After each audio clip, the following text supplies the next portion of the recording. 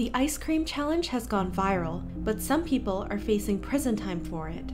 Before I get into the tea, I just want to put out a disclaimer. Please do not send any hate to the people involved in this story. This video is simply meant to report on the news and give some insight on the situation.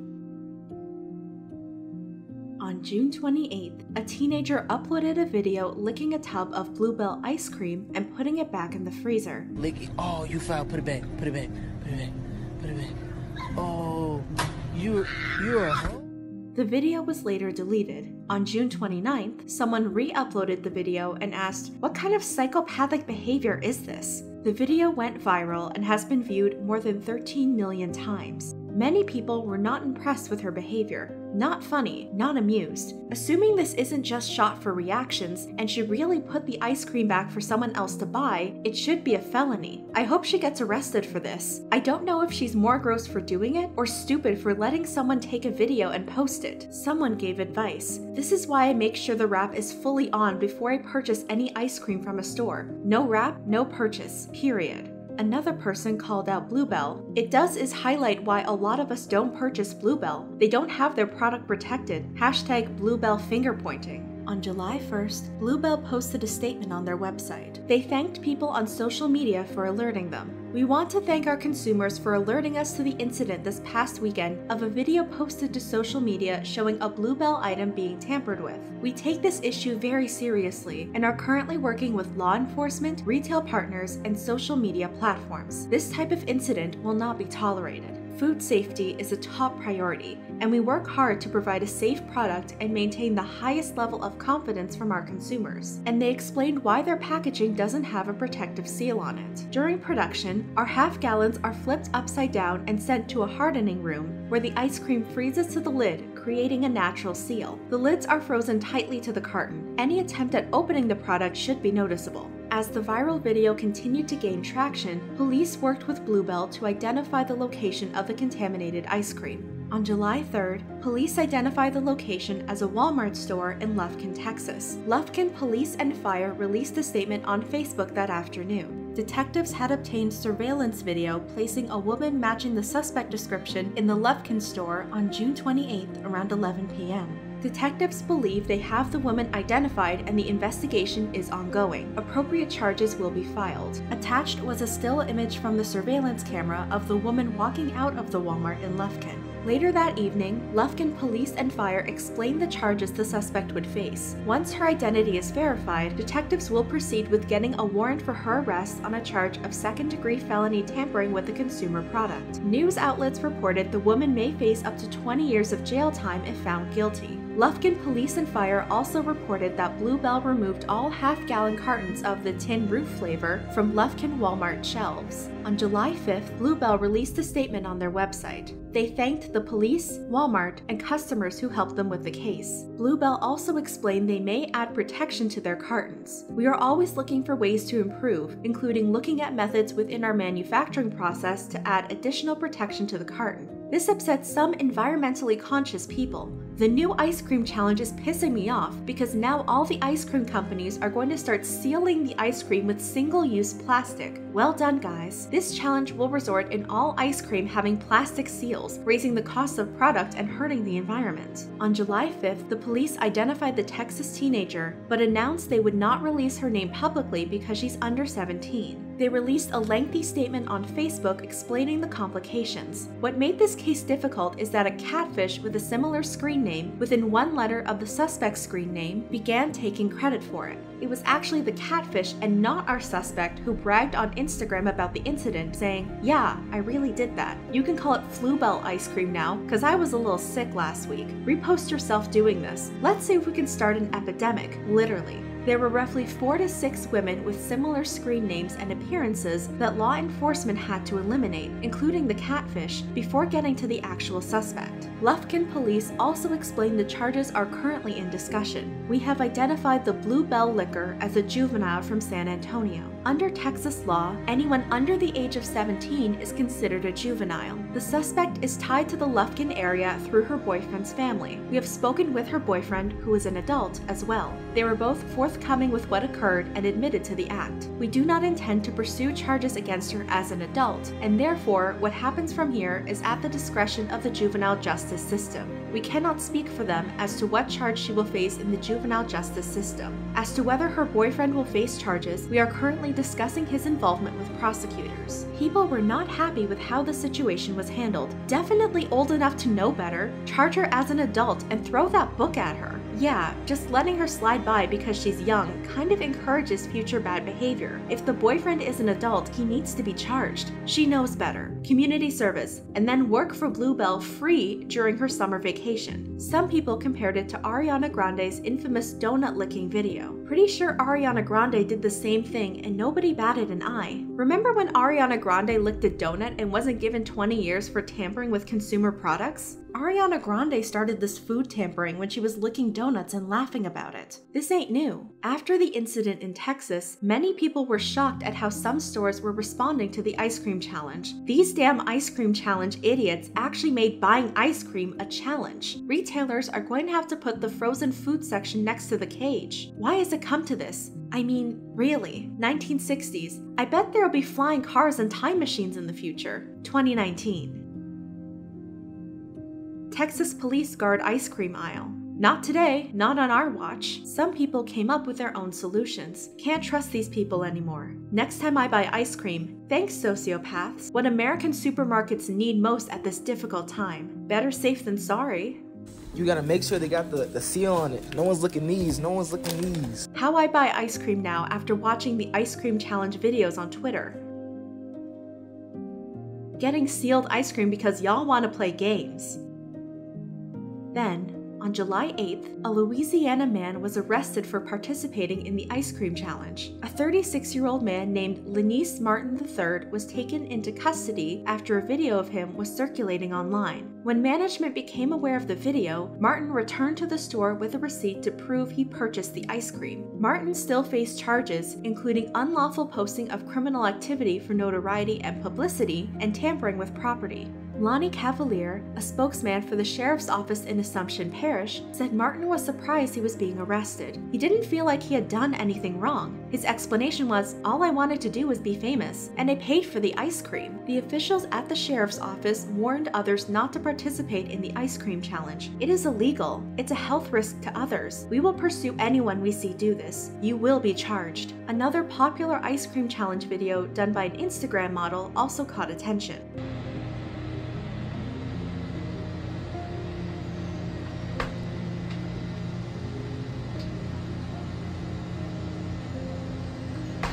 She got so much backlash that she posted a statement on Instagram. Let me be clear, I bought and took home the ice cream I licked. I apologize if I caused any frustration, stress, or anger behind a tasteless joke prank. No one was harmed or affected when I made the video. The whole thing was staged. Please stop tagging me on blogs, and blogs, please stop reposting it. Again, I'm sorry, it wasn't funny. A few other people uploaded videos of the challenge.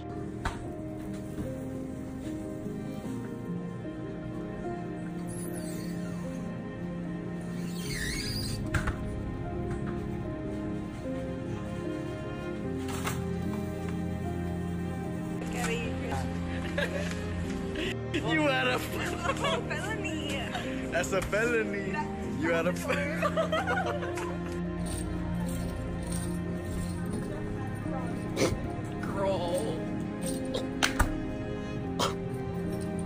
Put that back. Let's go, let's go.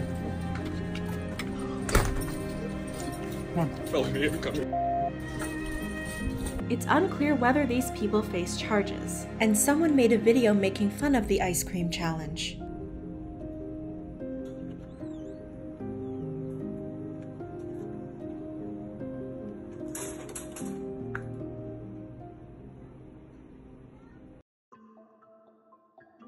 While all this was going on, more questionable challenges surfaced. A man spat into a jug of iced tea and put it back.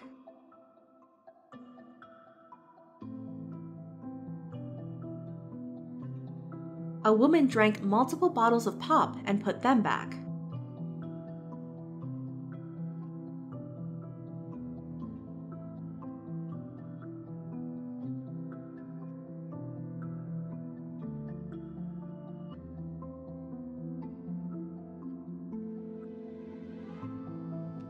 Used deodorant and put it back. A woman poured out hair product and put it back. Hey, homegirl.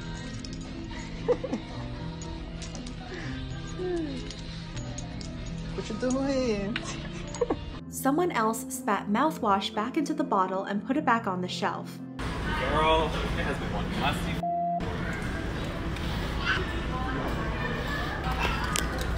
Minty and fresh.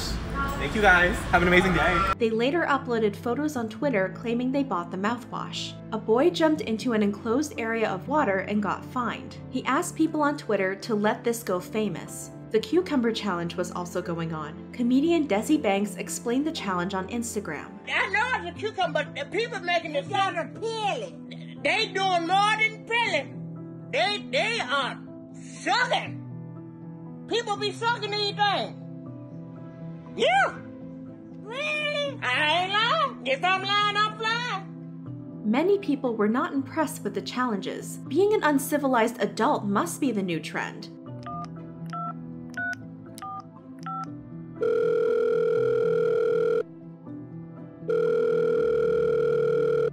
This trend is not cute or funny in the slightest. I don't care if it's staged, this is still nasty. And the fact that people are okay with doing this just for attention is some type of sickness. Congrats! You've been accepted into Clown State University. R slash people of Walmart alert. Some influencers also spoke up. James Charles said, Imagine licking ice cream or vandalizing a store because you need attention and likes on Twitter, lol. Bianca Del Rio said, Girl, people are licking ice cream containers in the grocery store, and they call me crazy? Hashtag, what the actual Around this time, the bottle cap challenge was also going on. It's a less harmful challenge where you kick the cap off a bottle.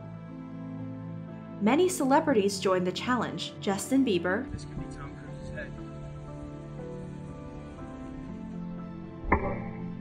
Donnie Yen,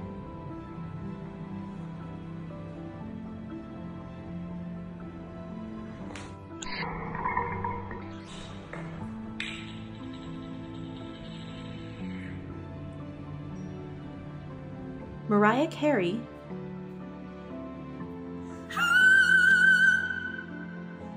and Ryan Reynolds.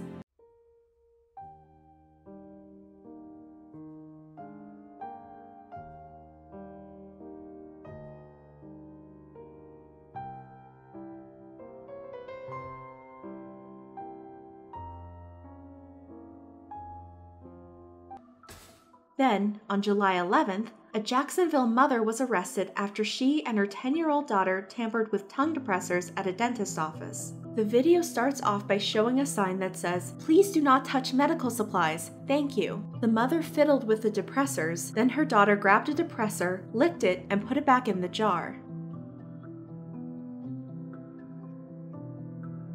The text superimposed on the video says, Don't tell me how to live my life. The mother explained, I posted this on my personal Snapchat with my 20 something friends, where someone allowed another person to video it. I didn't post it on Facebook or YouTube as a challenge or whatever. She also explained the short Snapchat video didn't show that the items were thrown away. She explained she didn't film the video for fame. I see now, like, why it looks bad, but it was not my intention to do a licking challenge. It was not my intention for it to be even shared like that. It was on something that was private. Since her daughter is a juvenile, the mother would face the charges. According to records from the Jacksonville Sheriff's Office, she is facing a felony charge of tampering with a consumer product without regard for possible fatality or bodily injury and could face up to 30 years in prison. And that seems to be the end of the drama for now. So, what's the big issue? How this viral ice cream challenge is actually a felony, the health risks from the challenge, and why people will do anything for fame. A lot of people aren't a fan of this challenge, but it's more than just a bad idea. In a lot of states, it's actually illegal. One person has been arrested for doing this challenge, the guy from Louisiana. According to the Texas Penal Code, tampering with food is a second degree felony. In the Penal Code, someone has committed an offense when he knowingly or intentionally tampers with a consumer product, knowing that the consumer product will be offered for sale to the public or as a gift to another. If someone is convicted of a second degree felony in Texas, they can be imprisoned between 2 and 20 years, and they can be fined up to $10,000. In Louisiana, any person who is convicted of tampering with consumer products can be sentenced to up to five years in prison, fined up to $5,000, or both. And being sentenced to a felony can affect your life in multiple ways. According to Help for Felons, an organization dedicated to helping felons after they serve their time, people convicted of a felony can have a hard time finding work or finding a place to live and in some states, convicted felons lose constitutional rights, like the right to vote. So you can see, even if you get internet fame from an ice cream challenge video, you could have lasting legal impacts that can affect you for the rest of your life.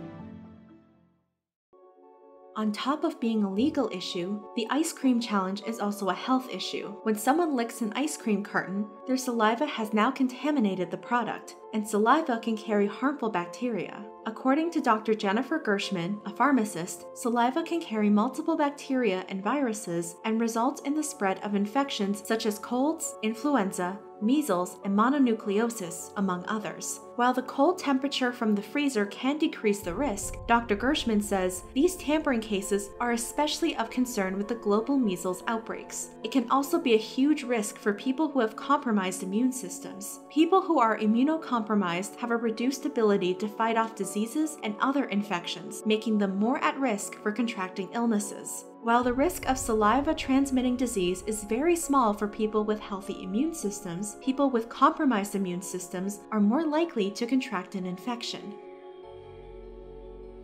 With all of these negative factors, why are people so desperate to do anything to get famous, even if the general public ends up hating them? There are a few theories. According to research in neuroscience and attachment theory, normal human development requires that we feel recognized and seen by others. It's easy to feel recognized when you're a baby, as adults are programmed to respond to cute babies, and parents are responsible for doing everything for their babies. But as you get older, that need becomes harder to meet, partly because you become more self sufficient, partly because everyone's lives become more complicated. And some people try to meet that need to be recognized through internet fame. Other experts suggest fame can be an addiction. While there isn't a lot of empirical research done on fame addiction, American psychologist Dr. Reef Karim says the rise in fame addiction has been linked to the rise in TV and the internet. As Dr. Karim observes, little kids today don't want to be doctors or lawyers, they just want to be famous. Dr. Robi Ludwig, an American psychotherapist, adds,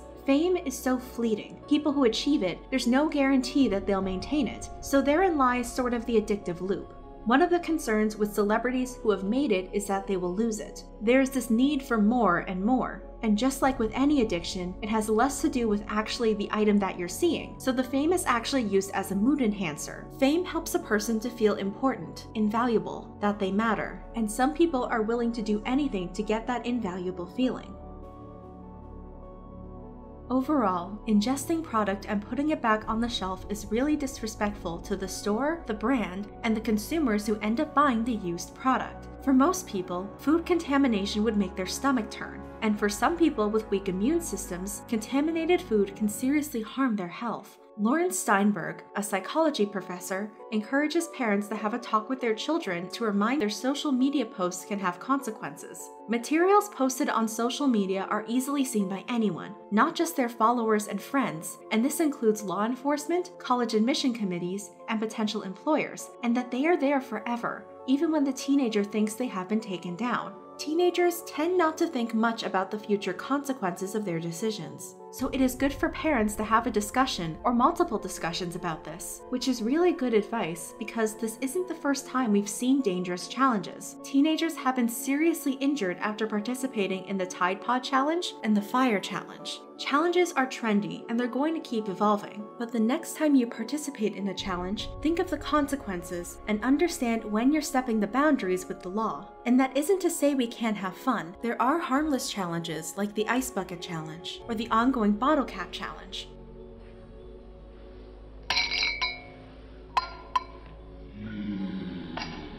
But a challenge crosses the line when it puts your life and the lives of others at risk. What do you think about this issue? Is becoming viral really worth the 15 minutes of fame? Let me know in the comments below. These ice cream licking heretics aren't even worth 15 seconds. You know the drill. You want the burns, come to Grill, and we can torch this internet garbage together.